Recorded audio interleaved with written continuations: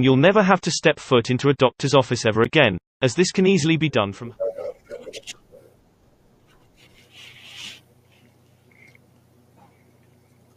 Okay, sir, pause it now. It's still going.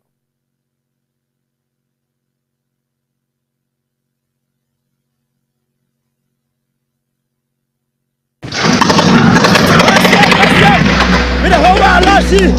How is it happen for life? They want you all win. They want you all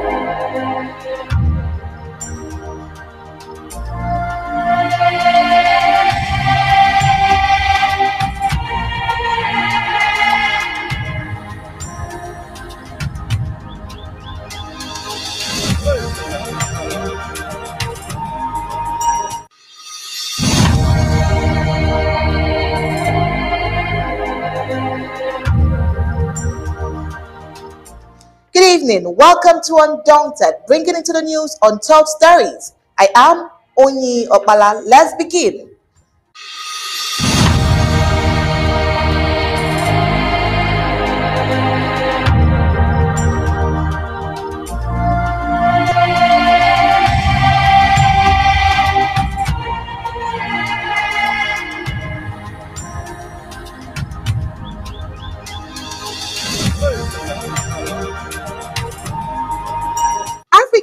Ambazonians have diverse interest points when they look at the political climate in France during this time in anticipation of the outcome of the elections.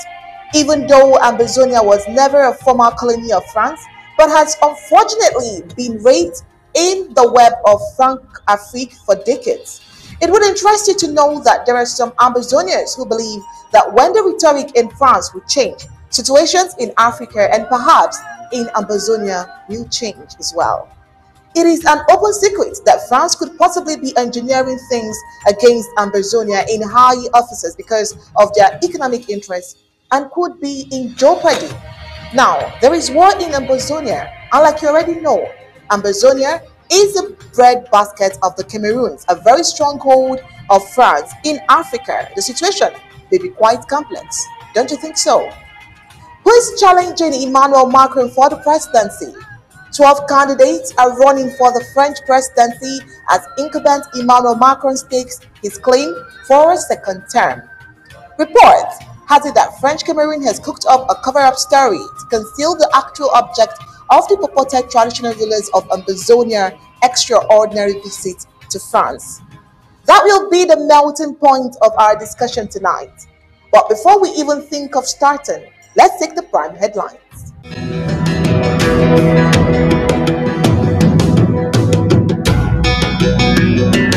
Prime headlines Yaoundé employs desperate measures to stay the Franco Cameroon hegemony. Some say it is death upon arrival. Once again, Dr. Luis Fanal, the former chief of staff of the communications department, rubbishes Chris Anu in obsession.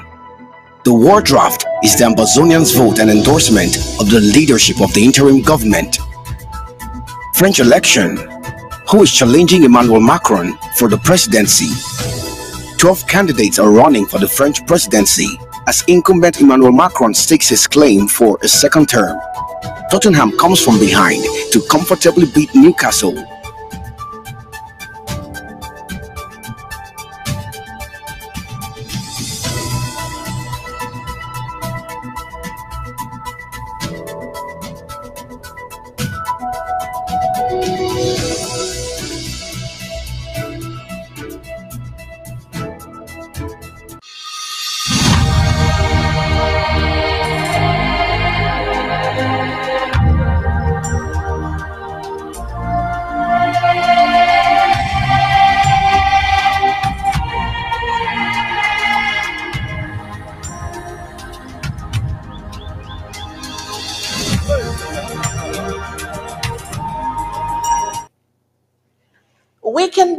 And clearly say now that France and La République de Cameroon have taken another wrong option, choosing the wrong persons to talk to, as was the case at National Monologue.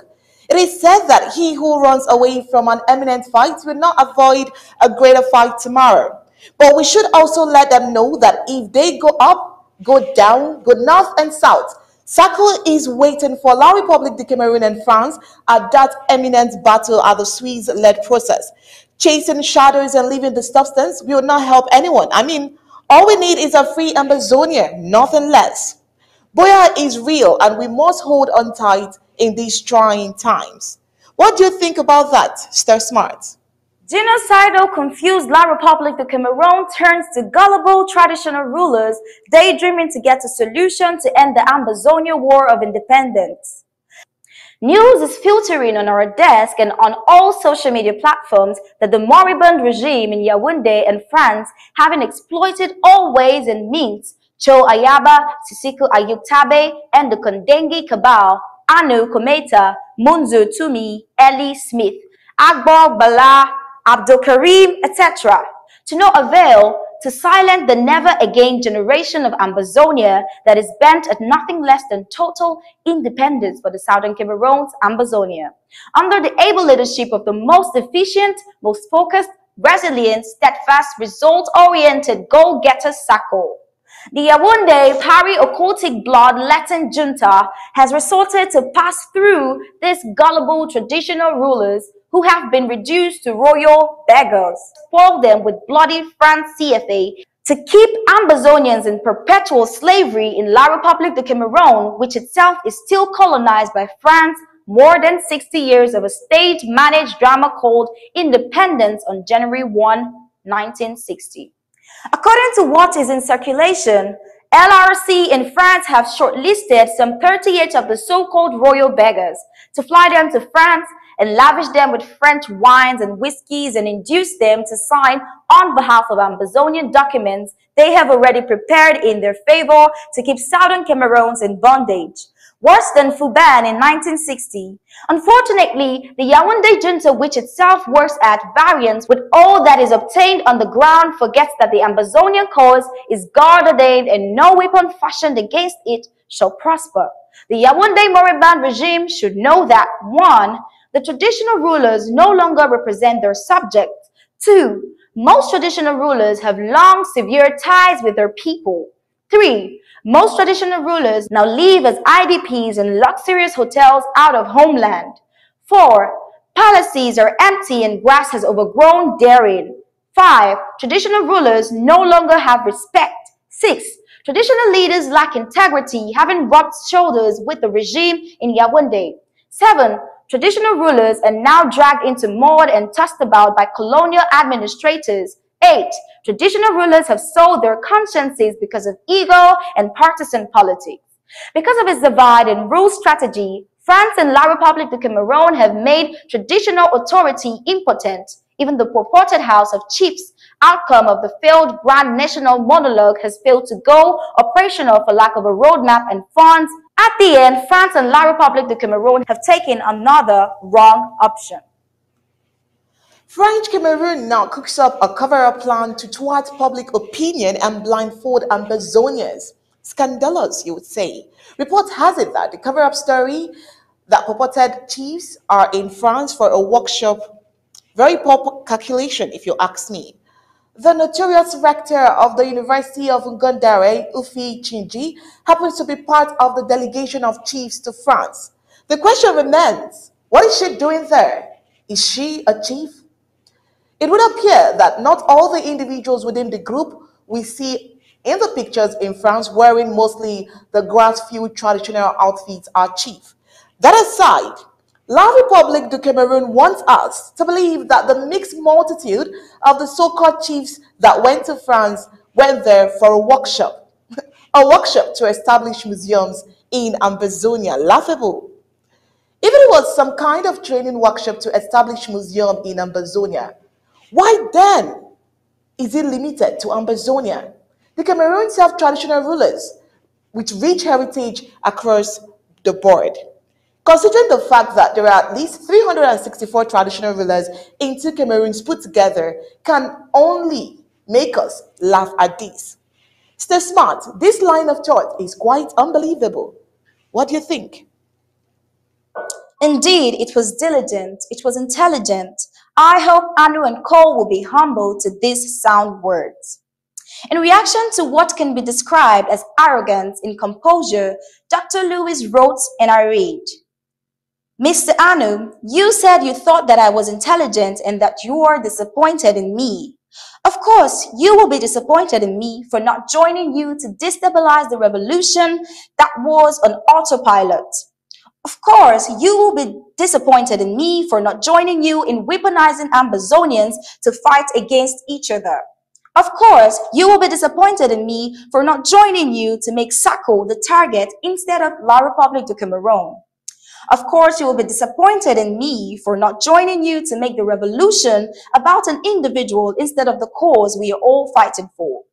Of course, you will be disappointed in me for not joining you to hijack ABC Forum, the TV that we spent months to get it started. Of course, you will be disappointed in me for not joining you to orchestrate the most stupid and inconsequential impeachment process in history where evidence are presented after a vote. Of course, you will be disappointed in me for not joining you to make Ambazonia Revolution a mockery to the international community.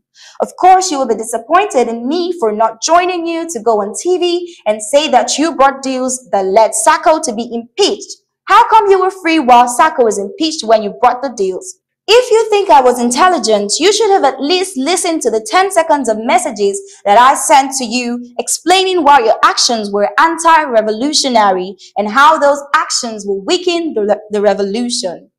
If you think I was intelligent enough, you should have listened to my counseling about what happened to the revolution after Sisiku was impeached, where a majority of those supporting him took a backseat and have never returned back.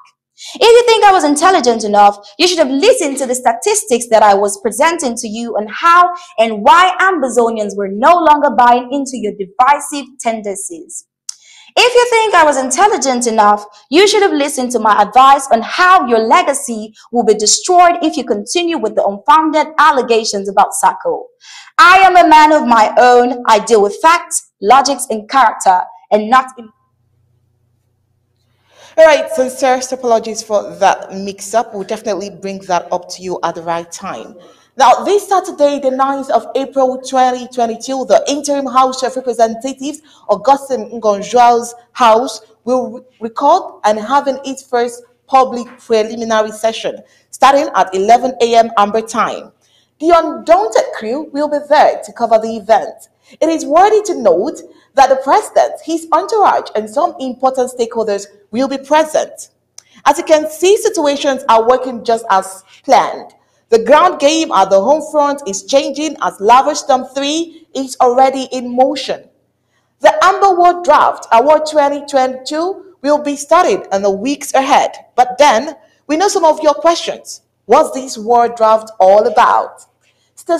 Smart has some answers. War Draft Program, Sacred Values and Political Significance. A seed of legitimacy. The war draft is the Ambazonia's vote and endorsement of the leadership of the interim government. It's an expression of confidence and trust in the people's government to prosecute the war of independence. Amba War Draft commits the wealth and resources of Ambazonia for the exclusive contract of political liberation and statehood defense. Humanity cry for help. Amba War Draft is an international platform to appeal broadly and indiscriminately for help, especially on behalf of the defenseless victims of Ambazonian origin who continue to pay the highest price with untold misery and shocking atrocities visited upon their innocent souls by French-backed Yaoundé expansionist regime of French Cameroon. A self-defense pledge the Amba War Draft is humanity's unavoidable duty to afford basic defense and minimum safety guarantees to Ambazonian victims willing to protect their rights, political identity, and statehood. In Amba War Draft, the victim is provided the rare opportunity to leverage forces of annihilation and subjugation. Citizens Contract. The Amba War Draft is a covenant by citizens and household of the Ambazonian family to undertake the liability of their political liberation from France and her proxy expansionist regime of French Cameroons. A common insurance policy. The Amba War Draft is a joint insurance policy against to override the debts of the statehood project and in return, Ambazonian stakeholders receives guarantees and assurance of their liberation and sovereignty. The Unity Card. The Amba War Draft is a sacred bond of unity forged out of the common suffering, common cultural heritage, and common destiny by the peace-loving people of Ambazonia. The Freedom Convention, the Amba War Draft is a convention to set the course for freedom and political liberty above all earthly considerations as a people. Civil Society Dialogue Platform, the Amba War Draft is a socio-political emancipation platform which supports the arguments and rights for self-defense with exclusive engagements on all issues of collective destiny. Community mobilization. The Amba War Draft is a war cry and invitation that mobilize resources across geopolitics, political affiliations, ethnicities, social groupings, and corporate entities. Union Charter. The Amba War Draft provides intelligence data which informs ongoing debates on the federal character structure. It forms a crucial and intricate part of the most elaborate pattern of cohesion amongst components of statehood. That was as much as we could recollect for you today. We hope for more in our subsequent newscast. I am Star Smart reporting for Undaunted. A It is always the culture of undaunted crew to peruse the social media and network in pursuit to understand the debate within and between Ambazonians, most especially, and also to see the border spectrum of the Ambazonia reach. In one of the heated confrontation would be Mr. Chris Anu in his obvious bully diction trying to intimate and conscientize former chief of staff of the Department of Communications and IT for simply not being a part of the coup plotters club. The interesting part of it is that Dr. Louise didn't condescend to insult. Rather, he took his time to educate Mr. Anu. And you do not want to miss any minute of the liturgy as the smart brings us the detail. Indeed, it was diligent, it was intelligent. I hope Anu and Cole will be humble to these sound words. In reaction to what can be described as arrogance in composure, Dr. Lewis wrote in our read, Mr. Anu, you said you thought that I was intelligent and that you are disappointed in me. Of course, you will be disappointed in me for not joining you to destabilize the revolution that was on autopilot. Of course, you will be disappointed in me for not joining you in weaponizing Ambazonians to fight against each other. Of course, you will be disappointed in me for not joining you to make Sako the target instead of La Republique du Cameroon. Of course, you will be disappointed in me for not joining you to make the revolution about an individual instead of the cause we are all fighting for. Of course, you will be disappointed in me for not joining you to hijack ABC Forum, the TV that we spent months to get it started. Of course, you will be disappointed in me for not joining you to orchestrate the most stupid and inconsequential impeachment process in history where evidence are presented after a vote. Of course, you will be disappointed in me for not joining you to make Ambazonia revolution a mockery to the international community. Of course, you will be disappointed in me for not joining you to go on TV and say that you brought deals that led Sako to be impeached. How come you were free while Sako was impeached when you brought the deals? If you think I was intelligent, you should have at least listened to the 10 seconds of messages that I sent to you explaining why your actions were anti-revolutionary and how those actions will weaken the, the revolution. If you think I was intelligent enough, you should have listened to my counseling about what happened to the revolution after Sisiku was impeached, where a majority of those supporting him took a backseat and have never returned back. If you think I was intelligent enough, you should have listened to the statistics that I was presenting to you on how and why Ambazonians were no longer buying into your divisive tendencies. If you think I was intelligent enough, you should have listened to my advice on how your legacy will be destroyed if you continue with the unfounded allegations about Sako. I am a man of my own. I deal with facts, logics, and character, and not emotions and charisma. Some Ambazonians who were celebrating your action to overthrow Sako out of office are now discovering that it was not substantive enough and did not work that toll on the revolution. Why that? Your name is now synonymous to erratic behavior and divisions in many discourses after you took the ill-advised part to destabilize the revolution. That is what emotion and charisma can give you. A good lesson will be to look at two of the most popular individuals in history, Alexander the Great and Jesus Christ. Alexander was a charismatic leader but lacked character. But soon after his death, the palaces, the army, and many others soon disappeared, while Jesus Christ This is a breaking news. There is reports of gunshots at the University of Bamenda, the fire power exchanges between the bees and the restoration forces. We have some Snapchat videos, amateur actually, showing how students are scrapping for safety. Now you would think from the university to the secondary school and down to the primary, education is getting highly difficult in Ambazonia. The plan of our enemies is definitely to leave us uneducated but our children, nephews, and nieces must get educated regardless. Please watch the video for yourself.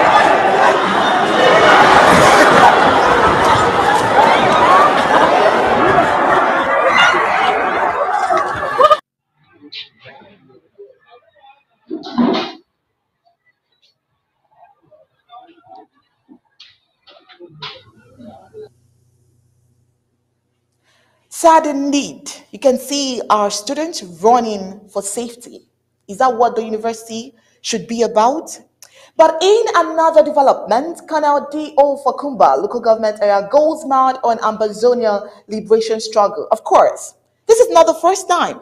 A video of him has been seen all over social media using profane language to cajole dancers of Meme County. Just watch the video for yourself.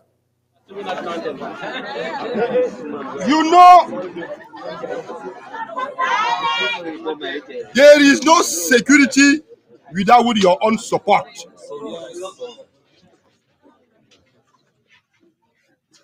We are tired in Meme division. The population have suffered. And enough is enough. Your papa, you beat him. Mommy, you beat him. The wife of your father, you fuck up. You back. I am tired.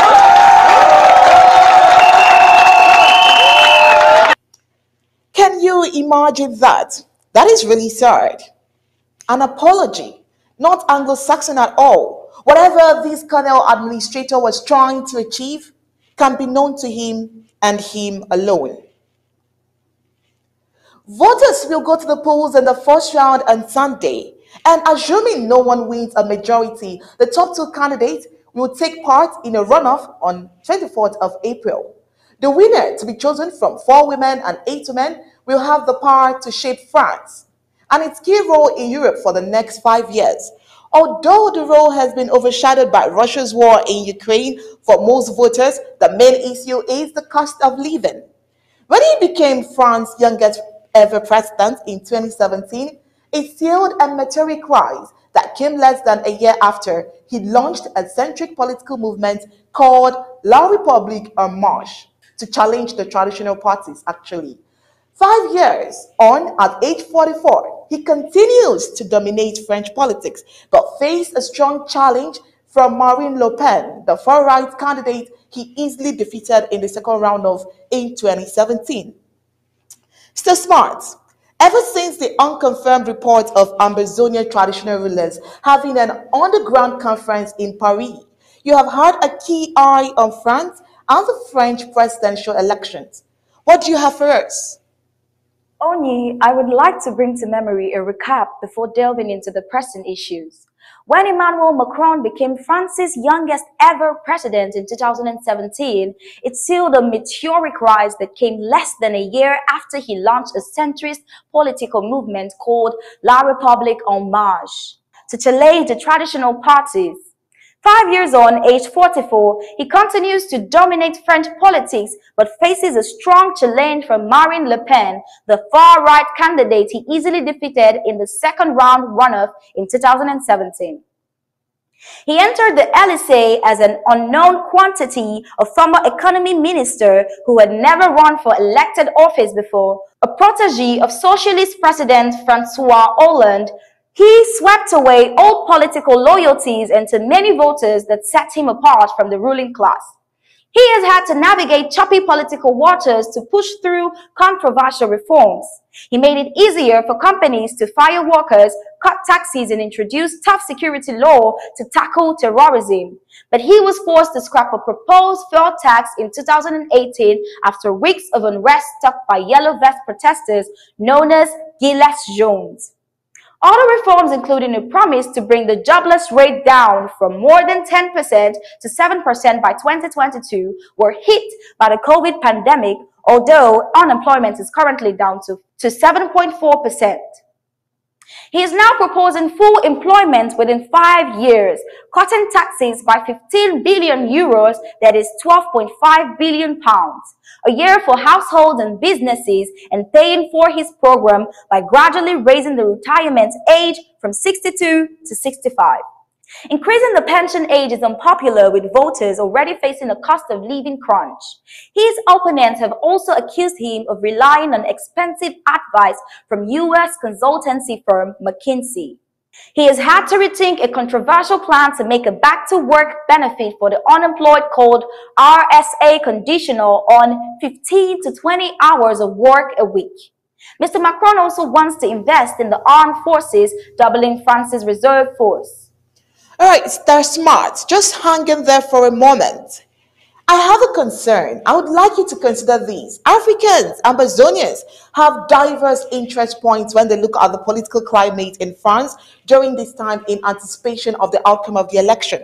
Even though Ambazonia was never a former colony of France, but has unfortunately been raped in the web of Françafrique for decades. It would interest you to know that there are some Ambazonians who believe that when the rhetoric in France will change, situations in Africa and perhaps in Ambazonia will change as well. It is an open secret that France could possibly be engineering things against Ambazonia in high offices because of their economic interests. That could be in jeopardy. Now, there is war in Ambazonia and there is already, they already know that Ambazonia is the breadbasket of Cameroons, a very stronghold of France in Africa. The situation may be quite complex. Don't you think so, Smart? Only I think I get your point now. But before we even get that far, let us find out what Macron realized in Africa during the last five years. Did he even do what he promised? Before he was elected into office, he looked into the eyes of Africans and made promises, acknowledged that France's grip on former colonies was vicious and even declared that colonialism was an assault against humanity. Now, what did he accomplish in line with the promises he made? Should Africans trust his second term into office? What are the stakes involved? What are his chances? These are some of the questions I will endeavor to highlight answers. When Emmanuel Macron took up residence in the French presidential palace after his election, he had big ideas on Africa. He laid them out clearly during his Ouagadougou speech in November 2017 to relegate the French-speaking backyard to the past Africa has 54 countries to focus on youth and therefore on education to tackle certain psychological wounds linked to colonial Algeria and post-colonial Rwanda history. To define Europe and France's place on the continent's path to rapid growth over the coming decades. The president also understood from the outset that a large number of the global challenges facing the planet are concentrated in Africa, in particular climate change, demographics, terrorism, development, and health. Furthermore, he made the choice again from the outset to maintain France's military engagements in the Sahel and more generally to assume a certain continuity with regard to French-speaking Africa. It is factitious, of course, to speak of two African policies. After all, in the president's mind, this make up a coherent strategy. Nevertheless, this duality is a helpful lens through which to begin assessing Macron's approach to the African continent. The attempt to rearrange France towards a globalized Africa has had some notable successes. Several heads of state from non-French speaking African nations invited by the president, South Africa, Ghana, Nigeria, as well as the IMF's managing director traveled to Paris. One of China's four vice premiers, Han Zheng, and U.S. Treasury Secretary Janet Yellen participated by video conference. The obvious challenge is to prevent the COVID-19 crisis from worsening the gap between Africa and developed economies. The president's visit to Rwanda a few days later led to an important and perhaps historic outcome, namely the normalization of relations between Paris and Kigali after France's recognition of the damning responsibility. EPS for the Rwanda genocide of 1994. We know that the president relied on the report of the Official Commission on the Rwanda Genocide, which was chaired by the historian Vincent Duclert and submitted to the government on March 26th. In his speech at the Kigali Genocide Memorial, the president found the right words, only those who got through the night can perhaps forgive, and in doing so, give us the gift of forgiveness. Without resorting to repentance, Rwanda President Paul Kagame whose star has faded in the Anglo-Saxon world, seems willing to enter into a phase of reconciliation, at least for the time being. This is certainly a positive development for Macron's desire to unlock one of the psychological traumas weighing on Franco-African relations. So is the Stora report on France's colonial past in Algeria submitted to the government on January 21, even if, unlike President Kagame, the Algerian authorities have not expressed satisfaction. Over the past few years, President Macron has taken similar measures to address the sensitive elements of African public opinion. He has initiated the dismantling of the West African CFA, though he is met with reluctance on the part of most of the African heads of state concerned. He has entrusted Cameroonian historian Achille Mbembe, one of the leading African intellectuals and co-founder of the Ateliers de la Pensée de Dakar, Dakar Thought Workshops. With the organization of the civil societies, Africa-France Summit set to be held in Montpellier in November. He has also taken the first steps toward the restitution of African cultural heritage to their countries of origin. After Kigali, President Macron went to Pretoria. He shares President Cyril Ramaphosa's objective of rapidly developing South Africa's vaccine production capacity. Though he initially showed reserve, Macron had by this point changed his position on the lifting of vaccine patents, such as unexpectedly proposed by President Biden. All in all, the President of the Republic can be considered to have scored points in his strategy to change the way Africa looks at France. As he puts it, and to broaden this framework of France's own approach to Africa. The first of his two African policies seem to be bearing fruits. We can wonder, though, whether he has truly escaped the shadow of what is known as Françafrique, that special sphere of French influence over its former colonies. The situation in the Sahel is particularly problematic in this respect. Here too, a sequence of recent events provides some answers. The Nouakchott Summit in February 2021 was conceived as a follow-up to the Pau Summit held in January 2020. The latter of which was notable for resulting in the deployment of 600 additional soldiers in Operation Barkhane. The French military intervention in Mali, 5,000 troops. It was expected that the president would announce the withdrawal of these 600 additional troops at the Nouakchott summit.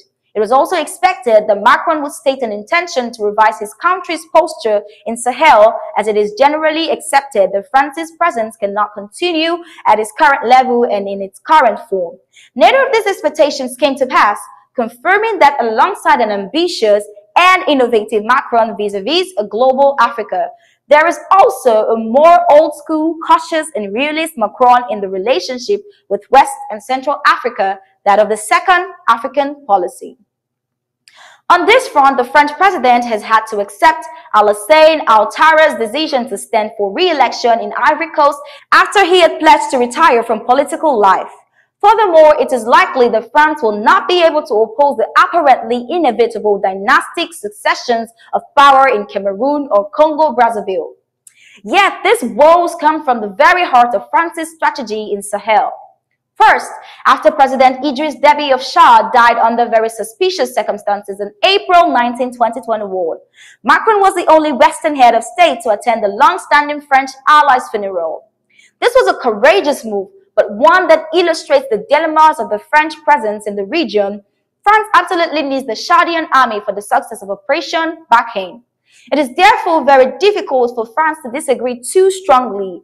Macron did so, but after initially appearing to show that he could live with it, with the purely dynastic succession of power that has commenced in Chad. Another setback was Mali's coup d'etat within a coup d'etat on May 24th to 25th leading to an even more direct accession to the presidency by Colonel Assimi Goita, who had ousted President Ibrahim Boubacar Keïta a few months earlier. In an initial stage, joint operations between French and Malian forces had been suspended. For Paris, the situation comes with many risks, one of which is that the military in power in Bamako will enter into negotiations with some of the jihadist groups that have killed French soldiers and whose neutralization is the raison d'etat of France's military engagement in the region. Another risk would be endorsing a regime devoid of any legitimacy. A third, which is in fact already a reality, is that France's lack of popularity in the Sahel increases and that the French intervention continues to be seen in public opinion as a pretext for covering up unspoken interests through complicity with local authoritarian regimes. Probably with all these considerations in mind that on June 11th last year, Macron took the extraordinary decision to declare an end to Operation Barkhane. Stir, there are certainly some issues of concern we have to consider as well. Observers believe that Macron might be creating a space for French contenders like Russia and Turkey, which are quite are quick to exploit any setback for France in the region. Now, make no mistake, French troops will stay, but in reduced numbers, with the only purpose of converting jihadists in a new technical configuration, special forces join aerial operations, and so on. By 2023, not an immediate horizon. The French military in the Sahel should be more than 2.5 versus 5.6 currently. Details have to be worked out with the French allies in Europe and the United States. All these amounts to the beginning of slow and controlled disengagement. We drift in French policy, policy in Africa. Do you think Macron still has the trust of the French voters? What are his chances in the ongoing elections? Tell us, please. Mr. Macron has long been favored to win the vote, but opinion polls suggest his main rival, Marine Le Pen, has narrowed his lead and would give him a strong challenge in the 24th April runoff. His poll ratings were initially boosted by his diplomatic efforts during Russia's war in Ukraine, but voters are more exercised by increasing bills. Marine Le Pen was runner-up to Emmanuel Macron in 2017, and this time she is once again his closest rival. Her family has been synonymous with the far right in France for decades. She can no longer claim the hard right vote to herself because of fierce rival Eric Zemmour. Although some of her team have defected to his camp, including her own niece, his more extreme views on Islam and immigration have made her approach appear more moderate. A political player in France for years, Marine Le Pen became a Euro MP before acting on her presidential ambitions. After her presidential defeat in 2017, she rebranded her National Front Party as Rassemblement National or National Rally. She has since crafted a consistent anti-immigration, anti-EU message that has resonated with disaffected voters. She has in the past expressed her admiration for Russia's Vladimir Putin and relied on a Russian bank loan for her 2007 presidential campaign. She condemns his invasion of Ukraine while warning of the risk of sanctions to the French economy. Now 53, she has promised to halt abuse of the right to asylum with a referendum on restricting immigration and she wants to ban the Islamic hijab being worn in public areas. She also seeks to turn the European Union into an alliance of nations unchallenged by EU laws. Marine Le Pen wants to waive income tax for those under 30 and exempt companies from tax contributions if they raise minimum wages by 10% from many of their staff. And now to sports.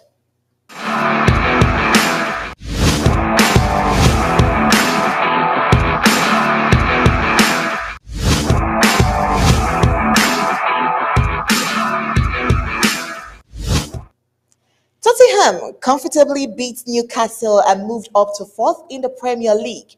CAF President Motsepe to visit AFCON 2023 host Cote d'Ivoire on Monday. Women's Six Nation, England aim 44-0 win against Italy. Gab Ellison has more detail. Latest world sports. Football. Premier League. Tottenham came from behind to comfortably beat Newcastle and moved up to the fourth in the Premier League. Antonio Conte's side leap above North London rivals Arsenal on goal difference. But Mikel Arteta's men have two games in hand, including Monday's trip to Crystal Palace. It didn't start well for the host, as Magpies defender Fabian Schär called in a free kick on 39 minutes, though Hugo Lloris will be disappointed at not keeping the ball out. Spurs responded on the stroke of halftime through Ben Davies' glancing header from Son Heung-min's sumptuous delivery into the danger area. Immediately after the break, Spurs turned it around through Matt Doherty's diving header from Harry Kane's cross, and they netted their third through Son's clinical finish. It got even better on the hour mark when Emerson Royal poked in from close range following excellent build-up play by Doherty and substitute Steven Bergwijn stroked in late on. Newcastle had no answer and fell to their third consecutive defeat, leaving them 15th in the table but 9 points above the relegation zone. Arsenal vs Crystal Palace Two former Arsenal midfielders pit their wits against one another in the Selhurst Park dugout tonight as Patrick Vieira's Crystal Palace welcome Mikel Arteta's Gunners for a Premier League London derby. The Eagles managed to hold Manchester City to a goalless stalemate before the international break, while Arsenal's top four charge gathered momentum with a 1-0 win at Aston Villa. One week on from being inducted into the Premier League's Hall of Fame for his endeavours as the driving force of Arsenal's midfield, Patrick Vieira will surely envisage no better way to celebrate the accolade than getting one over his former club and his current squad are no pushovers. The Eagles boss will hope that the recent international break has not disrupted his side's momentum as Palace strung a six-game unbeaten run together in all tournaments and advanced to the semi-finals of the FA Cup after putting four unanswered goals past Everton, with Chelsea now lying in wait at Wembley. Serie A AC Milan versus Bologna AC Milan will be looking to tighten their hold on the Serie A summit when they welcome Bologna to San Siro tonight. Italian giants AC Milan will return to Serie A action tonight knowing that they can tighten their hold on the summit with a win over Bologna. A series of excellent results of late have seen the Rossoneri move to the top of Serie A with 8 games to go. Stefano Pioli's side is well placed to secure their first Scudetto and the onus is on them to do their part on the field. Bologna, however, has little to play for and will arrive at San Siro without a win in their last four games. The Minnows are certainly there for the taking and the onus is on Milan to take the game to the visitors. Stefano Pioli's men have, however, shown themselves capable of shooting themselves in the foot. Whether the game against Bologna will turn into a banana skin or just another stepping stone to a 19th league title remains to be seen. The hard tackle looks at how both sides could line up on the night and what tactics they might employ. CAF President Motsepe to visit AFCON 2023 host Cote d'Ivoire on Monday. He will meet Cote d'Ivoire President His Excellency Alassane Ouattara, Prime Minister His Excellency Patrick Arki, and Ivorian football leadership. Dr. Motsepe will also visit some of the infrastructure that will be used for the Total Energies African Cup of Nations 2023.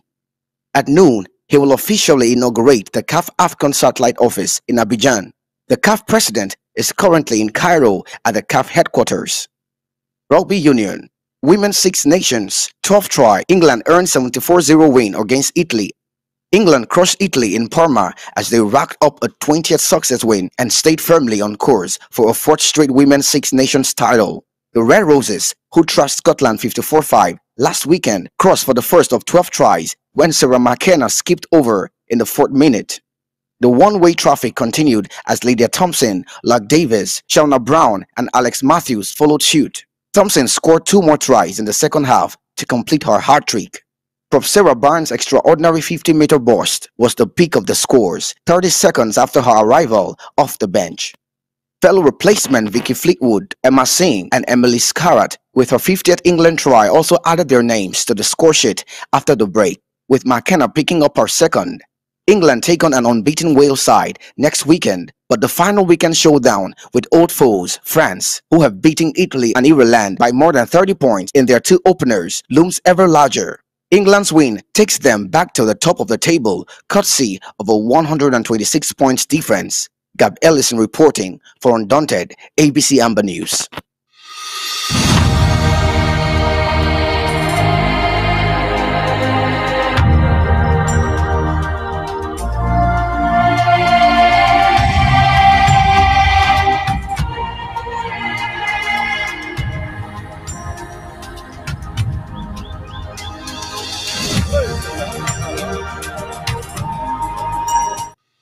And with that sports report, we've come to the end of Undaunted tonight. But before we go, here is a recap of the major stories. Yaoundé has employed desperate measures to stave the Franco-Cameroon hegemony. Some say it is dirt upon arrival. Once again, Dr. Louise Fonap, former chief of staff of the communications department, has rubbished Chris Ano in obsession. The War Draft is Ambazonia's vote and endorsement of the leadership of the interim government. Today on Undaunted, we are asking who is challenging Emmanuel Macron for the presidency? 12 candidates are running for the French presidency as incumbent Emmanuel Macron stakes his claim for a second term. And in sports, Tottenham comes from behind to comfortably beat Newcastle. And that was it for tonight Undaunted, bringing into the news untold stories. I am Onyee Okpala. will leave you with ABC Amba TV images. Thanks for watching.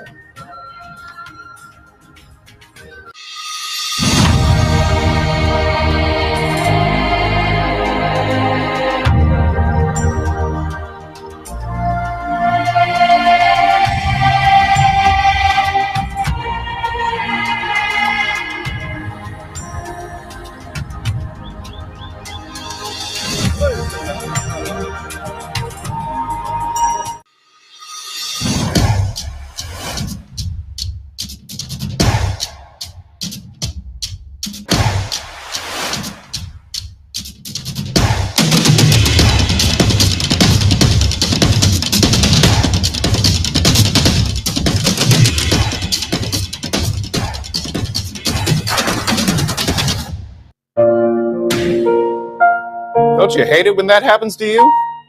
When it does, you need this and this and this. When it happens to me, I always know where to go. When you've got professionals on your side, your problems don't stand a chance. What are you waiting for? Contact them today and let them take care of your problems.